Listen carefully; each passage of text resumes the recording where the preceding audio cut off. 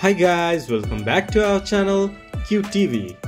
Today in this video I'm going to show you how to download or install Libertex app in your device.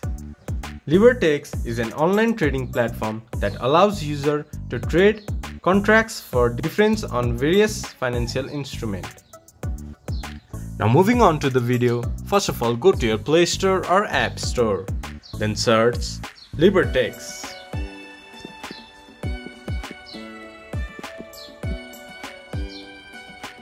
There you can see Libertex, tap on it, then press install. It might take a while to install the app depending upon your internet speed. Once the app has been installed, open Libertex app for a user-friendly platform with a commission-free trading. This much for today's video. If you guys find our video helpful, please leave a like and comment. And do not forget to subscribe our channel and hit the bell icon.